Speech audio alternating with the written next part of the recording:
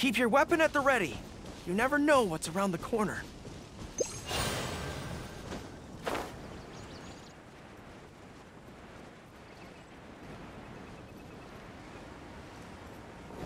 Huh.